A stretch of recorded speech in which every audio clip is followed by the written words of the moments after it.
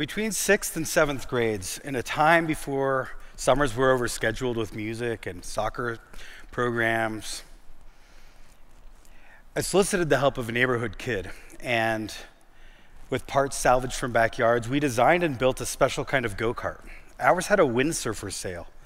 That summer, we spent sailing the streets of our small Utah town. Now, much, much later, I am still a designer that seeks solutions to big picture problems. I'm an artist. Unlike the stereotype of artists being bad at math, I like numbers and especially statistics. Lately, I've been using numbers to explore a complex problem at the intersection of art and economy. I've discovered a gap between the way public officials talk about supporting art and the way art advocates talk about it. Art people value art for its own sake. They value art because it is economy. I'm sorry, they value art because it is culture. Public officials, on the other hand, value art for its economy. They need to justify their support based on art's economic value.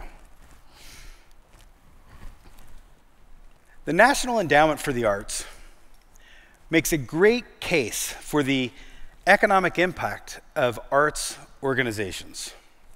I want to flip that script, however, and instead, I want to make a case for the economic impact of individual artists. Brooklyn, New York is a great example of the type of impact artists can have on a community. The Brooklyn I moved to in 1994 has completely transformed in the last 25 years, in large part because of artists.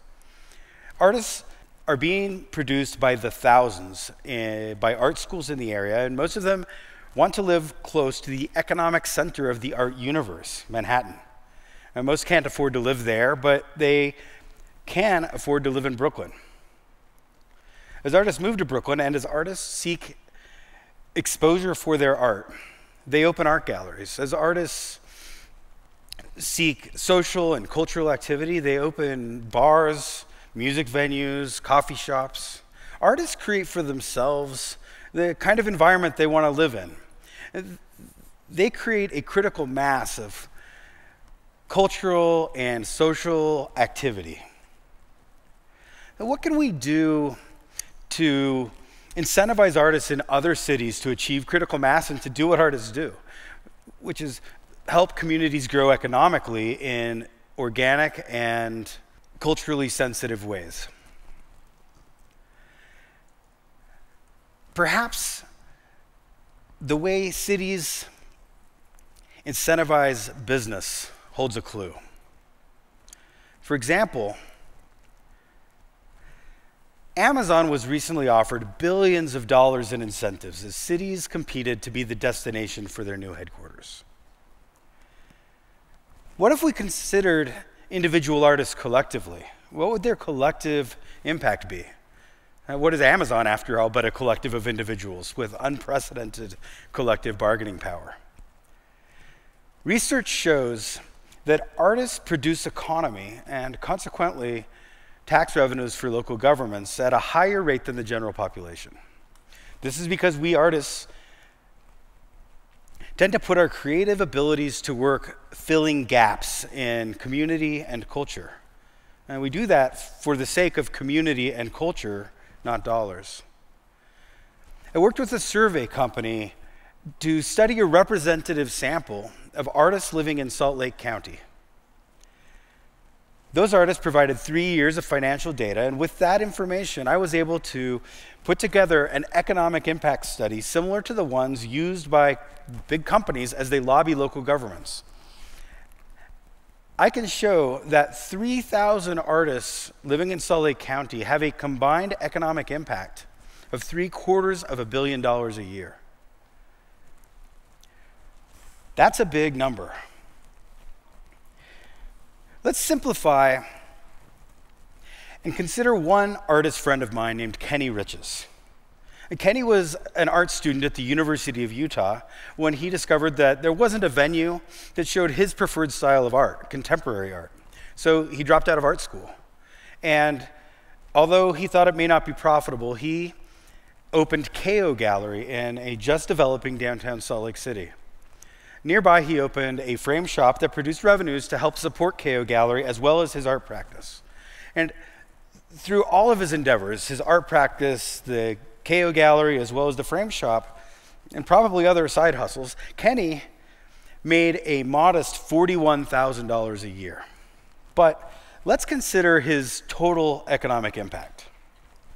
The frame shop grossed $300,000 a year. Half went to cover overhead um, and materials for framing. The other half covered Kenny's wages and the wages of four employees, also artists. Kayo Gallery supported artists by pr- producing 12 exhibitions a year. We know from the survey that the average Salt Lake County artist sells $10,000 a year in art, and half goes to galleries. They also spend $5,000 a year each buying materials for their art. That is a combined $205,000 in economic activity. But perhaps the most important impact that Kayo had was what it did for downtown Salt Lake City. According to Americans for the Arts, the average gallery visitor spends just over $31 on their outing. So the 15,000 annual visitors to Kayo Gallery spent a combined $472,000 every year in downtown Salt Lake City. Well, Kenny was barely making a living. His total economic impact came to nearly $1 million a year. And Kenny's amazing, but he's not alone. There are dozens of art galleries, frame shops, dance studios, music venues, coffee shops, and other businesses that are started and run by artists. Artists are true entrepreneurs because we are all about putting our creative energies to work, but we're often bad capitalists. Artists prefer to dedicate themselves to create community instead of turning a huge personal profit. That impulse leads us to create cultural content, consequently, creating economy, often without compensation, without a real focus on personal gain. We see examples of this all over the world as artists transform the communities where they live. The growth tends to be organic, with in some cases some very smart and relatively hands off incentives offered by local governments. But in each case, artists have a really concrete reason to move where they go. I mentioned Brooklyn. In Detroit, artists followed incentives by local government for nearly free housing. In Austin and in uh, Nashville, musicians have opportunities for what are potentially life changing opportunities. What can we do to help artists achieve critical mass and transform our city? I propose that with a relatively modest investment, we can increase the economic activity of artists in the Salt Lake Valley by nearly $1 billion every year. Now, that's competitive with the impact of a large company for a fraction of the cost. It's paid for by an increase in tax revenues and it's got much more cultural value. $1 million in annual direct to artists grants could accomplish that. With that type of program, Salt Lake could jump ahead of most cities in the world and become the most supportive location in this country. If 3,000 artists moved to Salt Lake County for those grants, the economic activity of artists in the valley would double to reach 1.5 billion every year as we champion the cultural and economic impact of individual artists. We transform our focus to support our best makers and our most creative entrepreneurs. Shifting that focus, we would also make Salt Lake one of the most important cultural centers in the country. We would be adding a vibrant and ingenious sail to our cultural and economic go kart. Let's go sailing.